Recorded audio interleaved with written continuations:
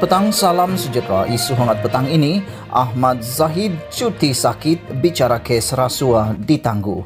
Berita sepenuhnya, prosiding kes 40 pertuduhan rasuah berhubung VLN membabitkan Datuk Sri Dr. Ahmad Zahid Hamidi yang dijadwalkan pada Rabu dan Kamis dilapangkan kerana bekas timbalan Perdana Menteri itu masih dalam cuti sakit.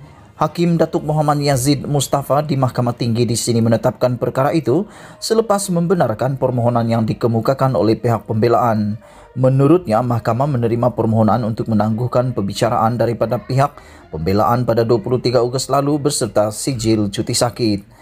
Beliau berkata ia turut disertakan dengan pengesahan daripada doktor pakar dari Avicenna Specialist Hospital Shah Alam, Dr. Muhammad Sahir Anwar ketika proceeding case di Mahkamah Tinggi Kuala Lumpur di hadapan Hakim Datuk Collins Lawrence Sekera minggu lalu. Isu sama ada klinik swasta atau kerajaan terjawab apabila doktor pakar itu hadir di mahkamah dan mahkamah dapati bahawa isu kesihatan yang dikemukakan disahkan doktor itu sendiri katanya.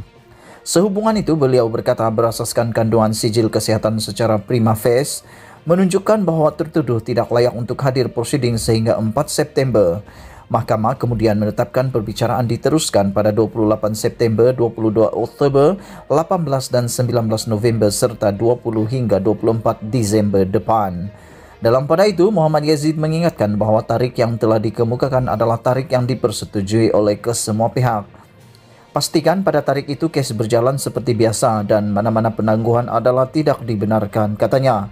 Sementara itu, semasa proceeding, Peguam, Ham, Peguam Hamidi Muhammad Noh yang mewakili ahli parlimen Bagan Datuk berkata, Dr. Muhammad Syahir menyatakan bahawa Ahmad Zahid memerlukan masa antara 4 hingga 6 minggu untuk berehat.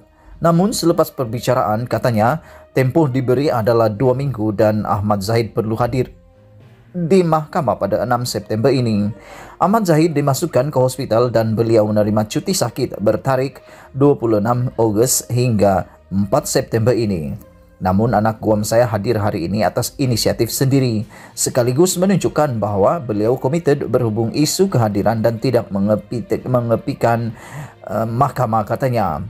Justru itu beliau berkata, pihak pembelaan memohon kepada mahkamah agar perbicaraan kes dilapangkan dan memohon tarik baharu untuk proceeding case. Sementara itu, Timbalan Pendakwa Raya Wan Saharudin Wan Aladin berkata, pihak pendakwaan bersedia untuk meneruskan perbicaraan dengan saksi-saksi sedia ada. Selain itu, pihak pendakwaan berharap agar cuti sijil sakit dibenarkan oleh hospital atau klinik kerajaan sahaja. Sebagaimana sedia maklum, sijil cuti sakit daripada hospital swasta tidak boleh digunakan untuk proceeding mahkamah katanya.